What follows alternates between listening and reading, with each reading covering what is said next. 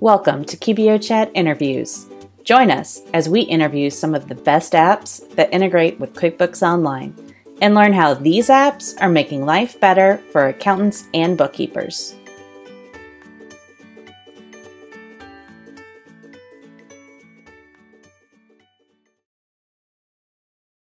Hey guys, this is Cathy. I am here with Taryn with Knowify and uh, we want to know a little bit more about Knowify and what you guys do. Yeah. So Knowify is a all-in-one project management software for construction contractors. Uh, we specialize in job costing and giving real-time job cost reports on labor and materials. And it's all fully integrated with QuickBooks Online, so they don't need to enter anything directly into QuickBooks. They just manage their jobs, and we take care of that side of it for them. So then you're then the users or you set up the users over there and everything moves over into QBO so they don't Correct. have to go into QBO. Exactly. So for the contractor using Knowify, it's almost like Knowify is an extra employee taking care of entering everything into QuickBooks for them, so they don't need to learn very much about you know how to actually enter into QuickBooks. They just you know will learn how to use Knowify. It's built for construction, so it makes sense to their business, and it takes care of all of the accounting. Uh, Knowify serves a variety of businesses, but we're mainly built with, for trade contractors, trade subcontractors. So think plumbing, electrical, HVAC, uh, painting is another big market for us. Uh, we also work with a lot of residential remodelers, uh, companies that are just starting to do bigger projects than just single trade, and maybe they have both their own laborers as well as some people that they're hiring to do some subcontracting work on the project. So with the trade subcontractors, those are the ones that do the AIA forms yeah, and stuff. absolutely. Uh, commercial subcontractors uh, often struggle to put together the AIA form, and so it's useful for them to have a system where they just hit a couple of buttons, put in the right values, and it outputs the very complicated G702 and G703 form, uh, so they don't need to learn how to do it or struggle with Word or Excel to put it together. Good, and yeah, then they don't have to worry about the Yeah. math not working. Yeah, absolutely. I've we'll seen- take care of the math, yeah, and they'll, uh, you know, it automatically calculates retainage, which is always a bit of a pain for them to do. Uh, plus, it'll build a retainage invoice afterwards, so it's not like that'll escape from them. Uh, they'll always have a reminder that they need to invoice the client for the retained values. How do you deal with change orders? Uh, change orders are part of the same contract in Knowify, so it's not like you need to go find a workaround of adding a separate job for the change order management. You just go to the list of line items from the schedule of values that you initially set up, and you have an add change order option, which is also e-signable, just like our proposals. Uh, that way the client can actually sign off before moving forward on these, uh, which we found is usually a constant struggle for people who don't have anything for e-signature. The client will give them the verbal, like, please do this additional work, and they will not end up paying them for it. And so it's nice to have a little bit confirmation from the client first.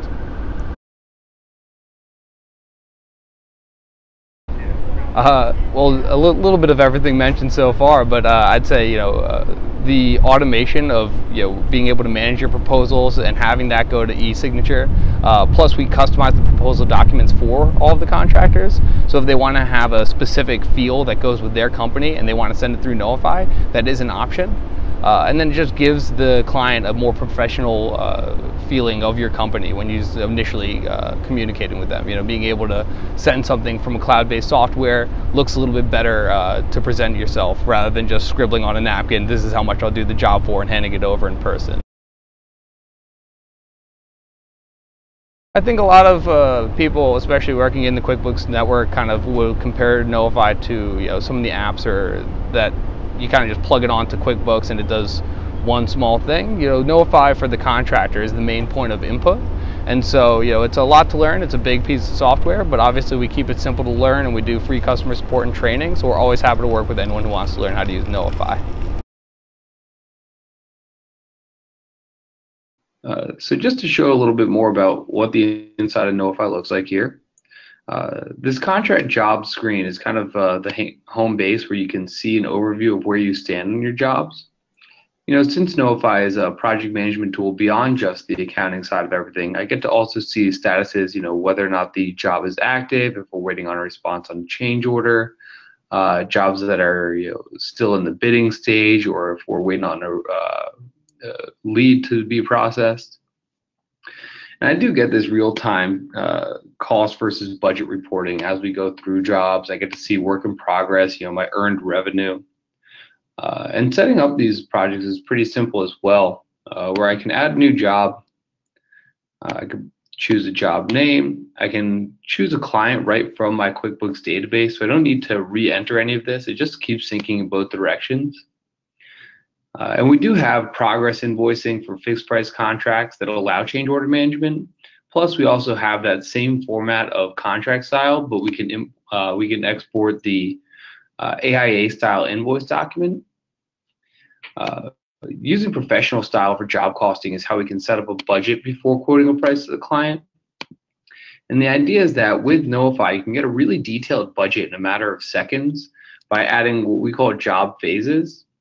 So I could say we need to use a ser- uh, sorry uh, by using uh, what we call service templates. So when I choose to use a service template, I can choose what type of service we're offering, type in the number of units, and Knowify will automatically build a budget for this project saying how many of each material we're going to need to buy, how many hours it'll take our workers. If necessary, it'll pull in a subcontractor budget.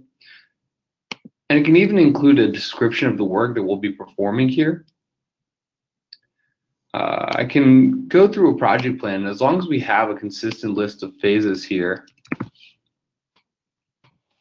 all I have to do is write in these different units and Knowify will continuously put together all of my information I'm going to need before I quote a price to the client. Uh, we'll just do these two phases for now to keep this simple. Uh, but when I click this create bid button, we really start automating the process even further by using that information to let you quote a price to the client. This is all about our automation organization to keep you from having to re-enter any of this information. So uh, I can use the interior drywall budget from earlier write in a markup percentage, and it'll automatically apply the, pr uh, the pricing to the contract for me.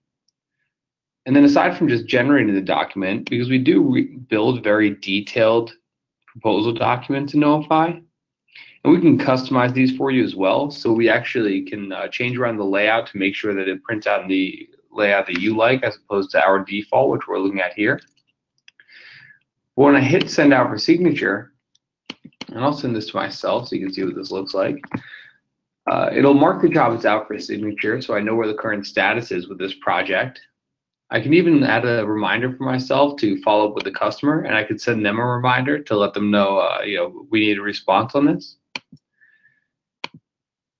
And the customer will actually get this layout of whatever your custom document looks like and they can respond right through Knowify.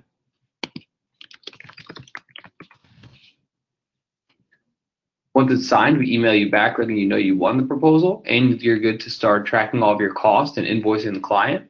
Uh, plus, we'll actually switch this job from Knowify from out for signature to active. So if I need to submit an invoice for this job, all I need to do is click invoice now since it's been approved. And actually, since this is an AIA form, it'll ask for some uh, final information to put on the uh, AIA invoices, such as retainage values. I'll go ahead and hit I'll go ahead and hit invoice now. I'll put in the last date of the billing period. And then I just put in a percentage of completion of each line, and then if necessary, an amount of stored materials. It'll generate the classic AIA style invoice document, which I can actually email to my client right through Knowify. So you can see that I don't really need to re-enter any of this information. It's just that same info from my budget being used and manipulated to actually give me proposals, to create invoices. And if you need to do AIA invoices, you see that it automatically generates the format. So it's a huge time saver, so I don't have to do any of this stuff in Excel. Uh, Knowify will just generate it all for me. Uh, creating invoices in Knowify also will push them to QuickBooks. You don't actually have to log these invoices directly into QuickBooks, but using Knowify, sending out your invoices through our system will uh, make sure that it shows up in your accounts receivable, so it never needs to be entered a second time there. Same thing goes for payments, where I can record that I've uh, received payment from the client in Knowify, which will push to QuickBooks, but I can also pull that payment from QuickBooks into Knowify. So it's really whatever flow works best for you. That's the invoicing side of Knowify. Again, we like to track the cost. You know, uh, being a job costing platform, this is obviously a very important thing to our system. And so I can actually just click order materials, choose these items from a list. And when I start PO process, it'll just ask for a vendor and create a purchase order for me using all of that info. That way I don't have to retype any of this. I just hit submit and it generates the PDF and I can email it out right to the vendor. The last part of this material costing process would be actually logging the bill. So when the vendor sends me a bill, I can log that right into my Knowify account as well. Again, it doesn't need to be logged directly into QuickBooks, since when we log a bill in Knowify, it syncs with QuickBooks. So I say add a new bill with ABC Supply, and we can even upload the bill document image if you want to do that. But when we log a bill in Knowify and choose a vendor, it shows us a list of everything that we've submitted in purchase orders, and it shows the different purchase orders and their corresponding jobs. So all I have to do is choose which items in the list that we're being billed for, and I can submit this and it'll send it to my QuickBooks account. Now, when I go to my job costing, if I look at my contract jobs page, I can see that project updated to show me my current profitability. It shows me my contract value, the amount I've billed out of the contract, the amount paid, and then if necessary, the amount that's being retained by the client. And it'll also show me my material cost to date versus my budget for materials, and the same with our labor cost versus materials as well.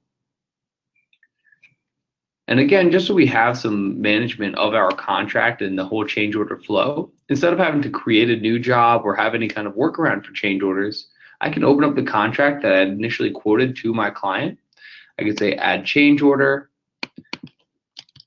additional supplies needed. I can write in a price here, or I can actually break this down here where I could say, yo, I'm going to need extra lumber. We're to need to buy 300 more studs with a 50% markup. No quote the pricing here. Plus, I can also include labor if necessary. I'll say I'm to need labor hours. It'll take us 50 hours and it'll quote a price that way. And our change orders are also available for a digital e-signature. So if you want to actually get the client to write off on all of these before you send it out, that uh, or sorry, before you invoice, that's an option as well. That way you just have a little bit more of a formal document and it's a little bit more professional for when you're communicating with your client. Then once this is active, it'll be another invoiceable line. And since we keep track of all your progress invoicing, if I click invoice now, it's going to show me the amount billed to date. So I can make any final uh, adjustments. So let's say I want to invoice 100% of my drywall work now. It'll even remove the value from our stored materials that we've invoiced previously, since now they're part of our completed work. I'll invoice my change order as well, and it'll generate my second pay application.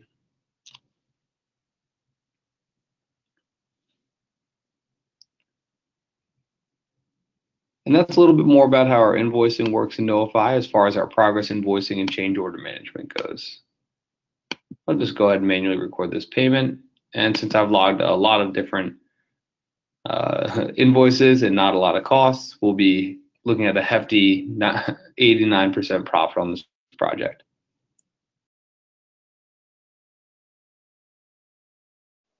Yeah, absolutely. Uh, if you receive a bill and you log it in Knowify,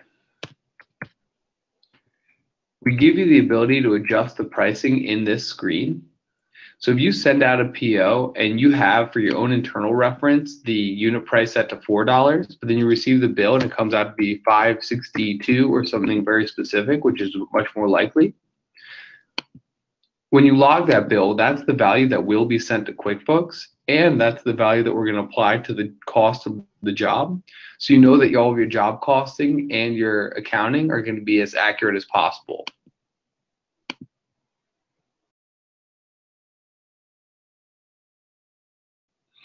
Yeah, it's actually a pretty quick process. Uh, it's done in your catalog just as if you were adding a new service. You choose this as a template, and I could say something like, you know, uh, widget installation. I could put in a quick uh, description, you know, installation of widgets and say this includes the following. One site prep. Two rough in. Three installation as per plans. I could say we budget this per each widget Uh, the default price is only if you want to skip the budgeting process and say, we know that no matter what, we charge $50 per widget.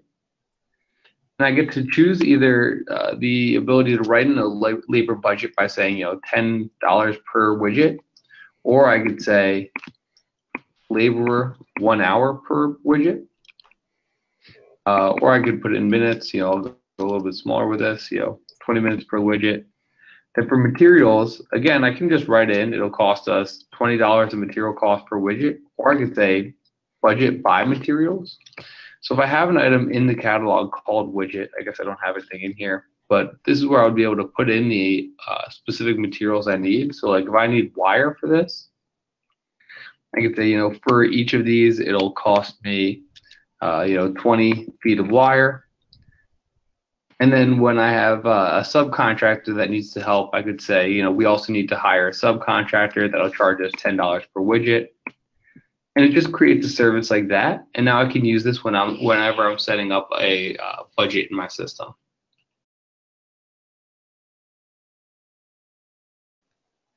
Uh, yeah, absolutely. So we do have a smartphone app. It's a little bit trickier for me to pull up an example here. Mm-hmm. Uh, but if you go to our time tracker, you can actually see that we have the ability to enter time per employee. And this can be automated through scheduling. So what did I number that job? So this is our corporate calendar. This is where I see all the different uh, open projects that we have going on uh, for this month. And then I can add something to the calendar by saying, we started a new job on the 26th. It was uh, project 1413 and our framing work will take us 10 days to complete. This adds it to the calendar so I can see, you know, what's actually happening here uh, over the course of a month. But if I click on the job board, I can actually set up what shows up on everyone's smartphone app.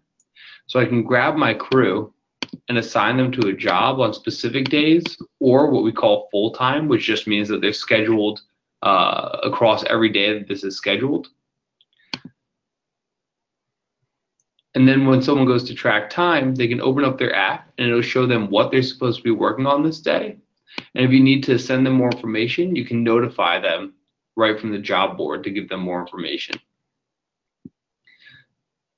And then when people check in and check out, their time will be submitted into this check in and check out view where I could see information about what day they checked in, what they checked into, the time in and the time out, and their distance from the job site at each location to say at each time.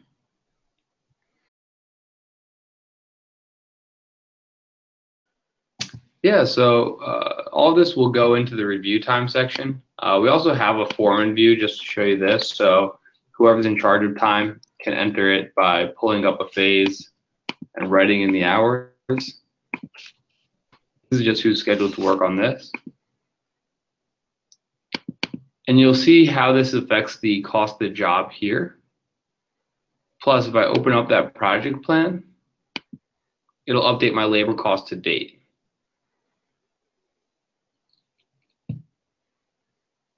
Do the labor cost include taxes and like all the burden stuff on top of it? Yeah, so when you're setting up your account, in your rates section, you can set up as much detail as you want with your base salary, any benefits, taxes, insurance, workman's comp, union wages, and then the other is just for an overhead factor. So if you want to put in anything else that's not included in our calculator, that's fine. And the important part is to get the uh, hourly rate here uh, for the sake of job costing on each entry. Uh, so if you don't want to use our calculator, you can always just write in one manual value. That'll update the right-hand side of the screen, and that's how we'll be job costing whenever they enter their hours.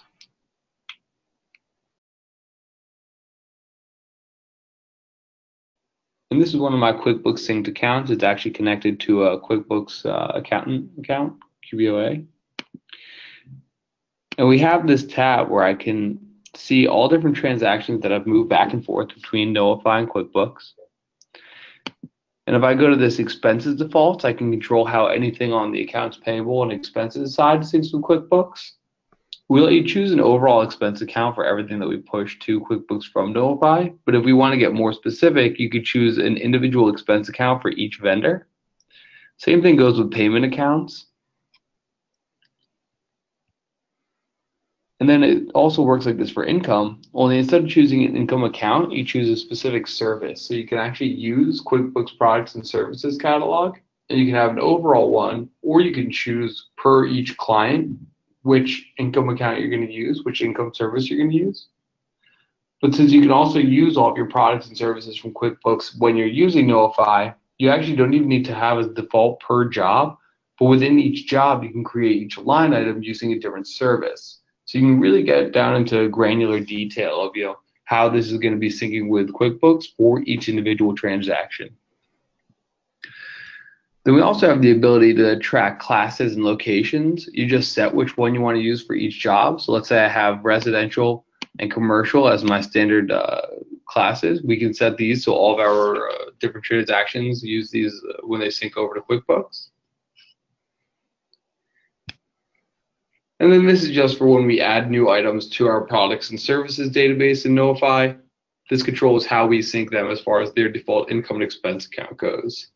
Plus, if I enter an expense with one of these uh, items, we'll reference this expense account before we reference the expense account for the vendor. So that way we can get even more granular expense account reporting all the way down to the individual line of each expense.